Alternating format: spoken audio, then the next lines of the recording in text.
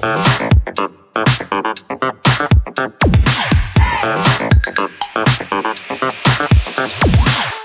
everyone, it's the Spoiler Zone. I just finished watching Orion and the Dark, released in 2024, and I'm here to share my thoughts with you. Unfortunately, due to YouTube's copyright policies, I can't show you any clips from the movie. But trust me, the animation is absolutely stunning. It's so vibrant and expressive, it really draws you into the story. The movie follows Orion, a young boy who's terrified of the dark.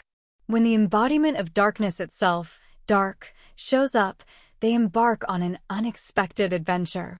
The story is heartwarming and full of adventure, but it also has some really deep themes about facing your fears and embracing the unknown. I loved the balance of humor and heart in this movie. It's definitely a film that the whole family can enjoy.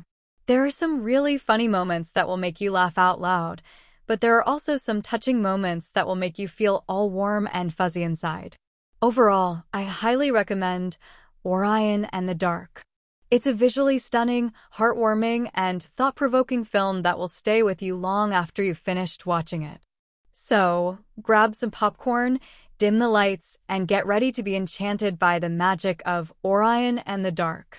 And hey, if you enjoyed this review, don't forget to hit that like button, subscribe to my channel for more awesome content, and leave a comment below with your thoughts on the movie. Let's keep the conversation going.